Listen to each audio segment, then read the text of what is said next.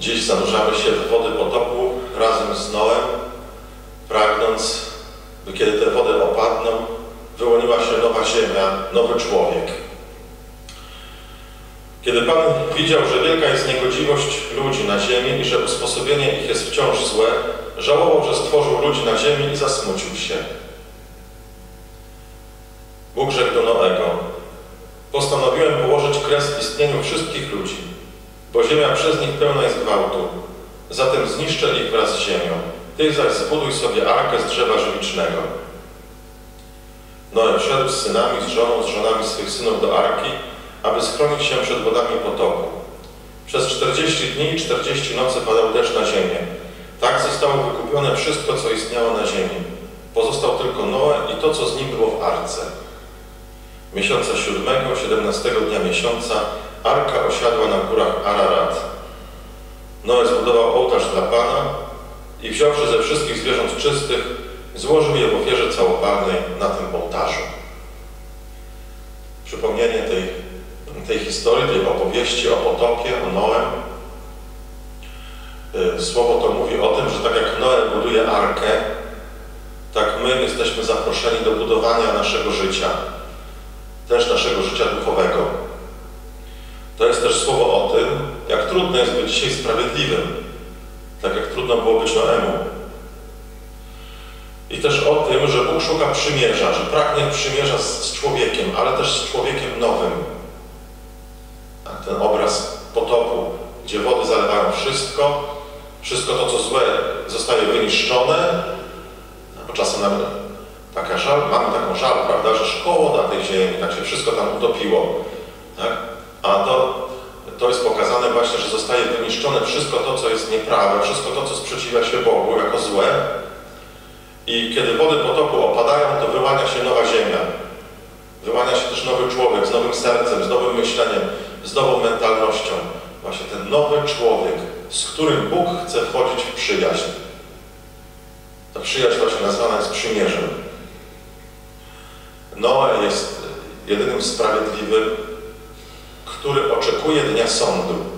Jest człowiekiem, któremu jakby przeszkadza to zło wokół niego. My się oczywiście sądu boimy. No, oglądaliśmy się takich filmów katastroficznych o końcu świata. Wiemy też, że, że Chrystus, kiedy przyjdzie, to przyjdzie na sąd.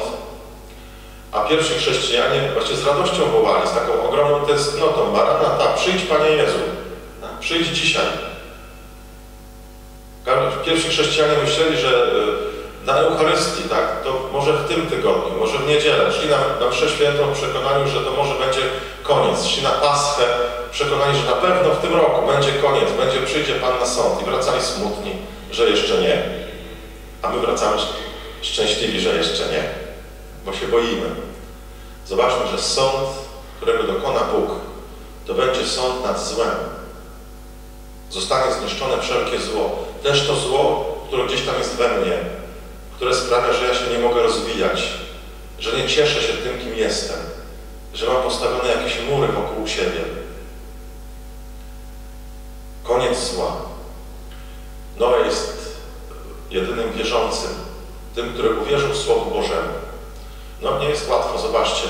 Jest człowiek, który na prośbę Boga buduje na pustyni statek, taką barkę. Na pustyni nie ma drewna, musi to drewno gdzieś sprowadzać z zagranicy.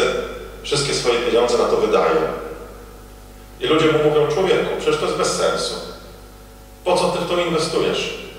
Co ty robisz? To, to wszystko jest nielogiczne, to co robisz.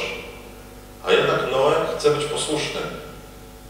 Właśnie to jest też wiara, że Noe wchodzi w zaufanie Bogu, w zawieszenie, jest posłuszny, nie wiedząc dokładnie, dlaczego to ma robić. Ale ma tę ogromną ufność, że, że Bóg kieruje życiem. Wszyscy mówią mu, żeby sobie dał spokój, a Noe właśnie na pustyni buduje statek. I okazuje się, że wbrew wszystkiemu właśnie ta praca, którą wykonywał przez wiele, wiele lat, okazała się ocaleniem dla, dla niego i dla jego rodziny. Te czasy są bardzo podobne Noego i nasze. Zobaczcie, jak trudno jest dzisiaj być sprawiedliwym. Jak to wszystko jest wyśmiewane, że człowiek się modli, że jest zaangażowany, że się spowiada, że chodzi do kościoła, Jak to?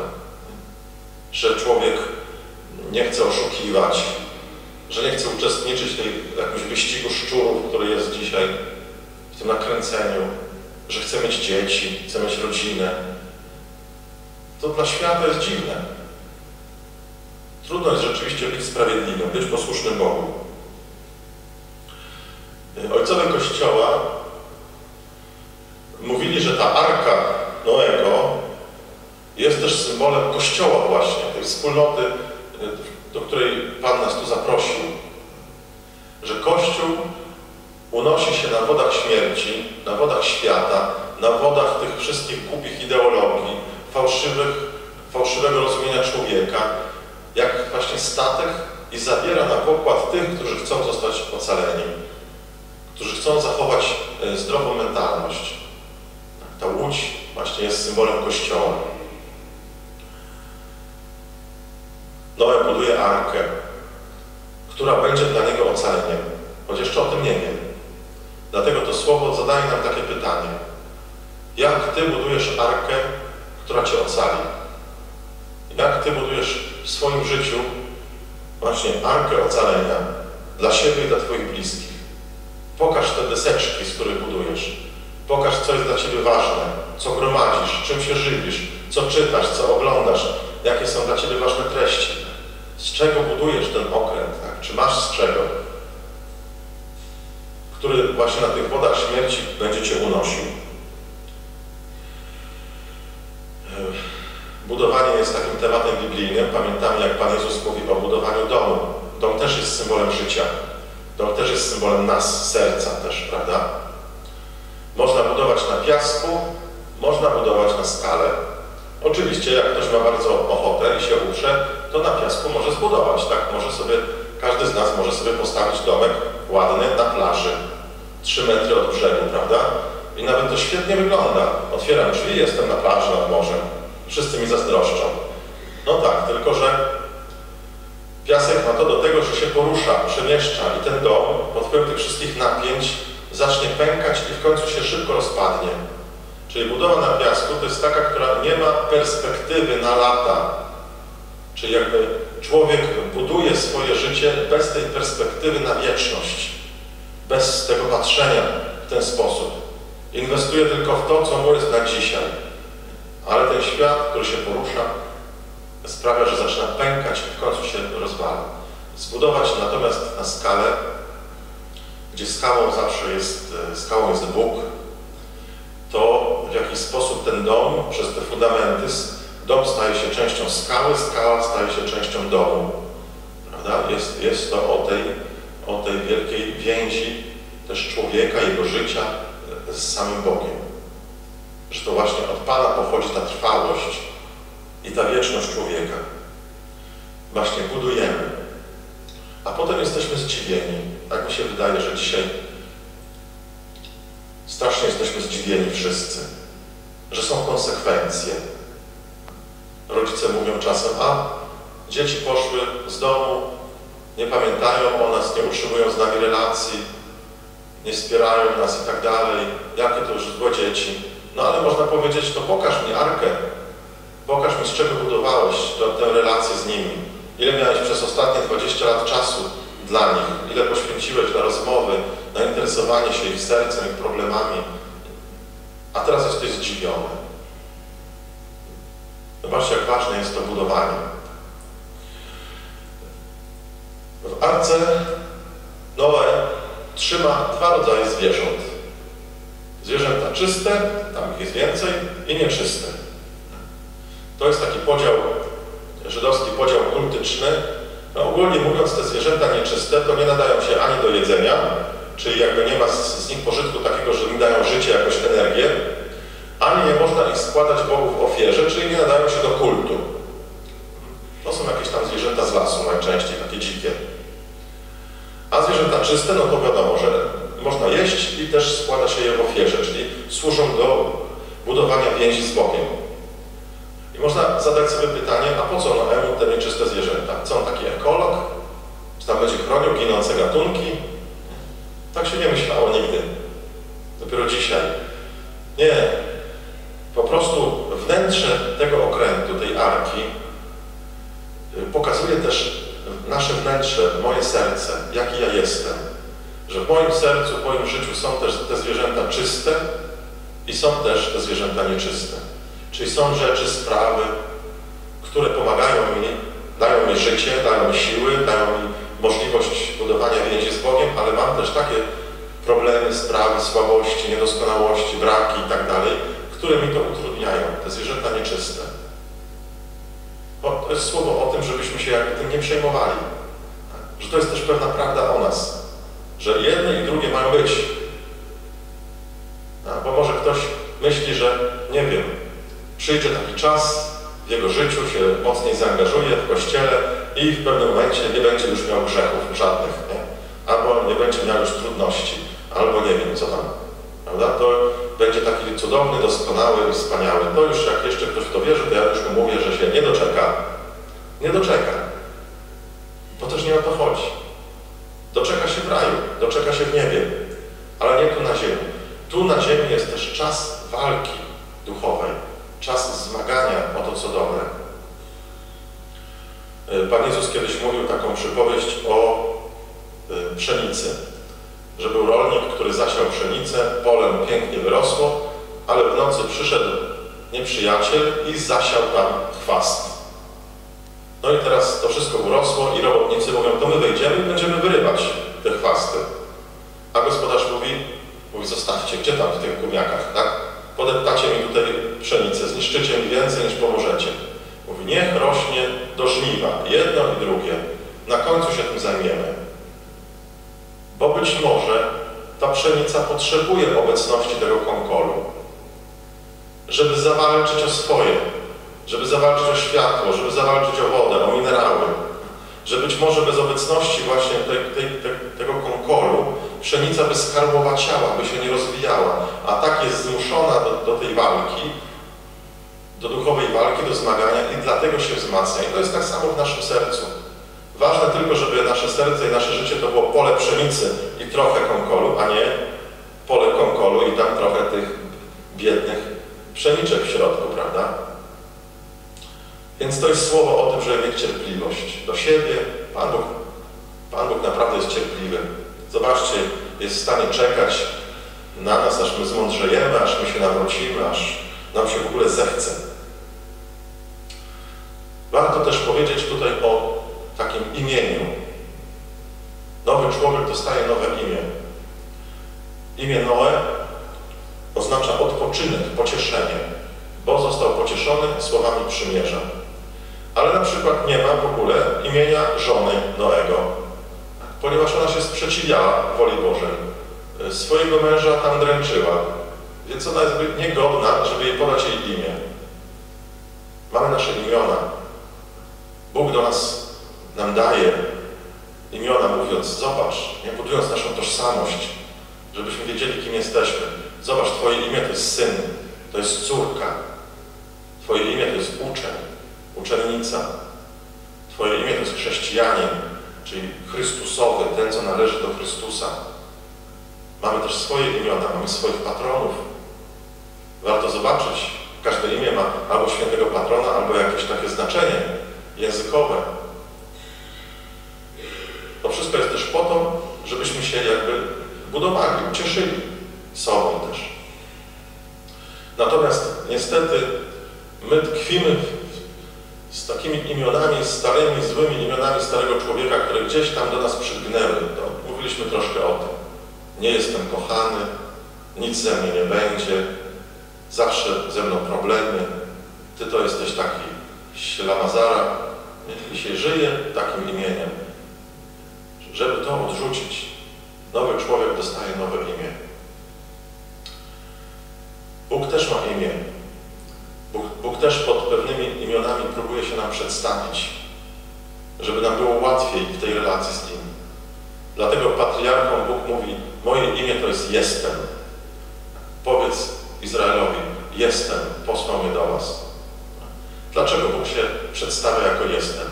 Ponieważ człowiek niestety bardzo często nazywa Boga nie ma Cię. To jest Twoje imię.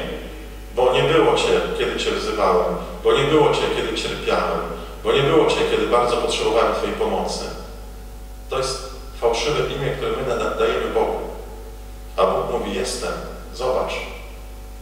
W Jezusie Chrystusie Bóg objawia się jako Emmanuel, czyli Bóg pośród nas, taki bliski.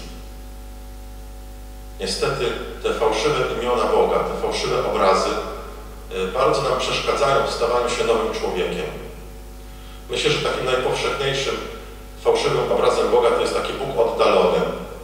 Bóg bardzo daleki. Tak kiedyś ktoś powiedział, że no, Bóg to jest dla mnie taki yy, daleki krewny, który mieszka za granicą i czasem do siebie dzwonimy.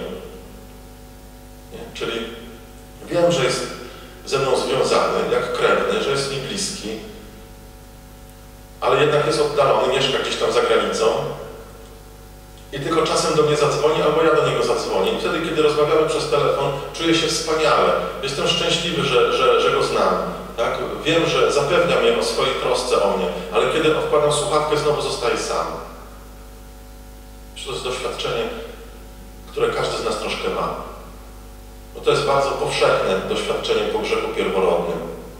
Ludy afrykańskie mają tak zwany mit o odejściu Boga, który w taki różny bajkowy sposób pokazuje, że Bóg był z ludźmi, mieszkał w jednej wiosce, ale coś tam się stało, ktoś był nieposłuszny, ktoś go obraził, on wyszedł z wioski i gdzieś tam mieszka, ale już nie wiadomo gdzie.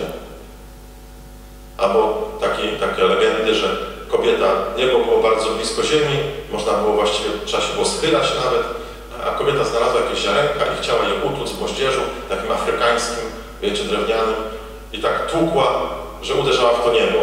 I mówiła, posuń się. No i tam to niebo się posuwało, nie? A ona potem była złośliwa i tak podrzucała ten tłuczek, nie? I mówi, posuń się. I wreszcie to niebo się tak posunęło, że straciliśmy z nim kontakt. Albo jakieś takie inne, że niebo było połączone z ziemią czerwonym sznurkiem, przyszedł pies i przegryzł. I niebo jak balon się oddaliło. Może to jest takie naiwne, ale przecież oni mówią o, o tym, co czują w sercu.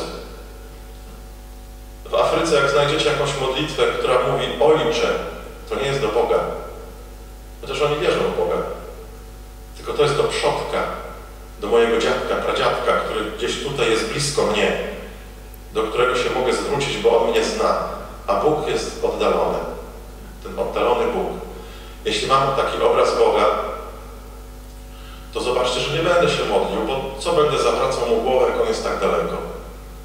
Będę miał takie poczucie, że jestem tutaj troszkę zostawiony sam i muszę wziąć moje życie we własne ręce. To ja muszę się wystarać, zasłużyć. Ja. Albo może ktoś ma obraz Boga takiego policjanta. Zatrzymuje cię policjant, drogówka i co? Otwierasz mu tam okienka, albo dzień dobry, co u Pani słychać, jakie piękne słońce, co tam u męża, co tam u dzieci, czy wszyscy zdrowi, jak tam w pracy, oglądała Pani wczoraj serial, nie? Tak się pyta, troszczy się o Ciebie policjant? W życiu. Policjant otwiera i mówi, dzień dobry, komenda tutaj rejonowa, tutaj starszy sierżant, dokumenciki do kontroli i Cię sprawdza. Przegląd masz, ubezpieczenie masz, kamizelkę świecącą masz, trójkąt masz. Mówię, a co to tutaj? O, nie ma. Mandacik i punkteczki.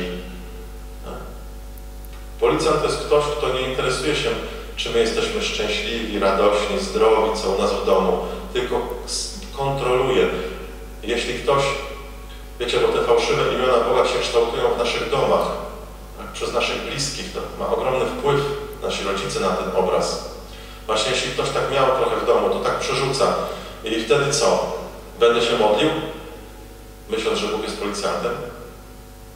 No będę, bo mnie będzie sprawdzał, tak? Byłeś na rekolekcjach? Dobrze. Spowiadałeś się? Dobrze. Masz tutaj to, a nie masz, a tego nie masz. Mandacik, tak? I to życie duchowe w ten sposób, że ja muszę wypełnić, muszę się pilnować, żeby mnie na czymś nie złapano. Albo ktoś może widzieć w Bogu takiego sędziego. Sędzia siedzi obłożony tymi kodeksami i ma na wszystkich paragraf i będzie sprawdzał, czy tobie się tam gdzieś coś nie podwinęło w życiu, bo na ciebie coś znalazł. Jak to wszystko podliczy, to jak w Stanach możesz dostać 300 lat więzienia, nie? Na przykład. I nie masz wyjścia. No to zobaczcie takie udręczenie człowieka, który tak myśli, że on musi to wszystko wypełnić, te zasady, te przepisy, że cały czas będzie kontrolowany, z tego rozliczany, potem go posadzą. Jaka to jest nerwica, jaka taka nerwica religijna, jak człowiek się udręczy w tym życiu duchowym. Niepotrzebnie. Albo taki Bóg, że właściwie nie wiem, wczoraj mu się to podobało, ale dzisiaj mu się to nie podoba. Ale czy on już naprawdę to wysłuchał mnie, czy ja to mu dobrze wytłumaczyłem, czy źle, czy jeszcze z pięć razy mu powtórzę. Bo to może taki trochę psychopatyczny Bóg jest, nie? Zobaczcie, jaka, jaka udręka. Ja jestem przekonany, że ci, którzy się w Polsce podają za ateistów, taka moda jest, tam młodzi ludzie czy coś, on tam ateista. Jaki on tam ateista, niech nie będzie śmieszny w ogóle. To nie jest żaden ateista, tylko to jest człowiek, który ma tak zły obraz Boga i już się tak udręczył w życiu, zasługując, robiąc, wypełniając przepisy, że już po prostu nie wytrzymał i dał sobie z tym spokój. Poniekąd miał rację troszkę, tak? ale to jest biedny człowiek z fałszywym obrazem Boga, a nie tam jakiś ateista. Czasem Bóg jest nam potrzebny jak supermarket. Przypominamy sobie o nim, jak, jak nam czegoś zabraknie w lodówce, tak? Albo tylko bednarski na kłopoty. Jak kłopoty, jak trwoga to do Boga. Tak? Jak będzie, będzie wojna, albo będą, będzie kometa leciała, to tu będziemy mieli w kościele takie tłumy, że nie wejdziesz. Ale to nie jest, to nie jest duchowość oparta na, na prawdziwym imieniu Boga i na prawdziwym imieniu moim. Noe, kiedy wychodzi z arki, pierwsze co robi, to buduje ołtarz. Jeszcze ziemia jest grzęska, on oddaje chwałę Bogu. To jest nowy człowiek, który wchodzi w uwielbienie. Tak powstanie nowy człowiek. Może mamy takie pretensje, że tak wolno się ten nowy człowiek w nas rodzi. Jest tam ten obraz w Księdze Rodzaju, że wody potopu opadają powoli. Noe wysyła ptaki, żeby sprawdzić. I te ptaki wracają, jeszcze nie, powoli, powoli. Miejmy cierpliwość do siebie. To nie będzie tak, że się strykniemy i już będziemy nowymi ludźmi. Potrzeba na to czasu. Nowy człowiek rodzi się opornie w nas. To jest troszkę jak z tym uzdrowieniem niewidomego w ósmym rozdziale Ewangelii Marka. Kiedy Pan Jezus bierze niewidomego na bok i dotyka go tam, uzdrawia i mówi, widzisz co? A on mówi, no słabo, coś tam widzę, coś się przesuwa, jak drzewo, to chyba ludzie. I można by powiedzieć, oj, nie udało mu się. A można powiedzieć, nieźle, jest pierwszy etap, tak? Taki, który mamy dzisiaj, teraz, każdy z nas. Bądźmy wdzięczni za to, że Pan już nas uzdrawia z tej ślepoty. Potem Jezus bierze go znowu i mówi, a teraz co? A mówi, teraz widzę wszystko fajnie. Mówi, no właśnie. To uzdrowienie dokonuje się też etapami. Miejmy do siebie cierpliwość. Potrzebna jest jednak, potrzebny jest taki radykalizm.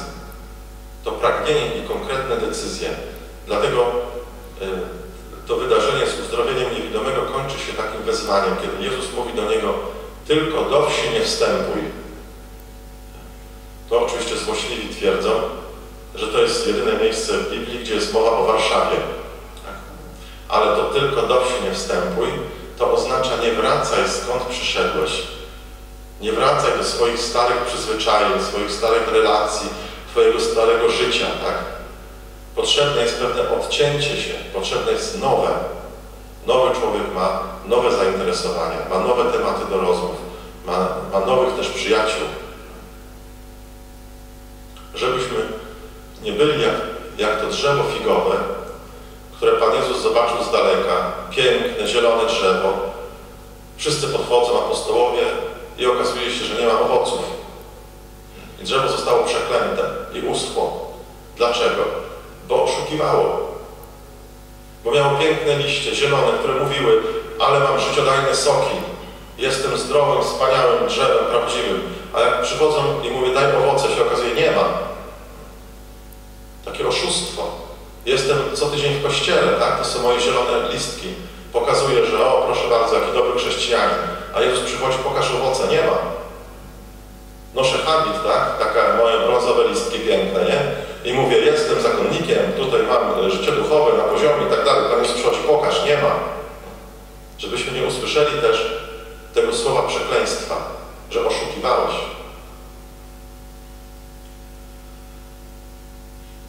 Słowo nas zachęca do wyruszenia w drogę, do wejścia w taką ufność Panu Bogu, który wie, co robi, który wie, że, że wszystko jest po coś w tej naszej wędrówce ku, ku, no, ku nowości. Kardynał Daniels z Brukseli, Gottfried Daniels, on kiedyś mówił, może to jest troszkę naiwne, ale mi się to podoba, to Wam powiem. On opowiadał, jak to wieczorem kończy pracę, przychodzi do siebie i patrzy tak, tego zapomniałem, tutaj nie wyrobiłem się, tu ktoś napisał, nie wiem co z tym zrobić. I Daniels idzie do kaplicy i mówi tak, Panie Jezu, czyja to jest diecezja, moja czy Twoja? A Pan Jezus mówi, moja, a co? A on mówi, to się o nią troszcz, a ja idę spać. Nie? I kardynał mówi, mówi, róbcie tak samo. Mówi, róbcie, jak macie dzieci dużo w rodzinie, nie, nie wyrabiacie się już z tym wszystkim. Macie chaos taki w domu. Wiecie, po którym dziecku zaczyna się chaos? Od którego dziecka? Od piątego. Bo rodzice mają dwie ręce, więc jeszcze czter, czwórkę kontrolują, a piąte już jest elektronem. Się zaczyna chaos. Nie? No i, i kardynał Daniels mówi tak. Módl się, Panie Jezu, y, czyje to są te dzieci, z którymi już nie mogę wytrzymać? Kto mi je tutaj dał? Twoje czy moje? Pan powie, no moja, co? A my, no to zajmij się nimi, tak? Bo ja muszę tutaj jeszcze z mężusiem pobudować relacje, muszę odpocząć, muszę coś, prawda? Jakby kardynał y, jakby uczy nas tak, takiego, takiej ufności, że nie wszystko ode mnie zależy.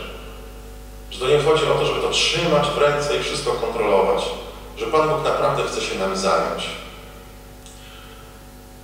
Czas Adwentu to jest właśnie czas y, przechodzenia Pana. On przechodzi, On tu jest. Obecny. Zaprasza nas do tego, byśmy też wyruszyli w drogę, byśmy pragnęli Jego przyjścia, Jego przyjścia, które nas przemieni w nowego człowieka. Pierwsi chrześcijanie zakończyli Nowy Testament, czyli całe Pismo Święte takim wyzwaniem. Maranata, przyjdź Panie Jezu.